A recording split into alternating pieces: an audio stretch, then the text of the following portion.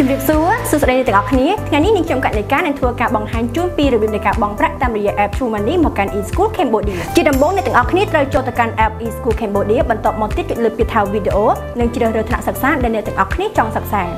បន្ទាប់មកទៀតសូមចុចលើប៊ូតុងបង់ប្រាក់រួចជ្រើសរើសមុខងារបង់ប្រាក់តាមរយៈការបង្កើតវិក័យប័ត្រ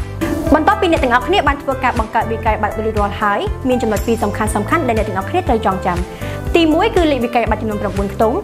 ទី2គឺចំនួនទឹកប្រាក់ដែលអ្នកទាំងអស់គ្នាត្រូវធ្វើការបង់ប្រាក់លើថ្នាក់សិក្សាមួយនោះបន្ទាប់ពីអ្នកទាំងអស់គ្នាបានធ្វើការបង្កើតវិក័យប័ត្ររួចរាល់ហើយសូមចូលទៅកាន់ app True Money ចុចលើពាក្យថា bill payment បន្ទាប់មកទៀតចុចលើពាក្យថា school fee រួចចុចលើពាក្យថា e-school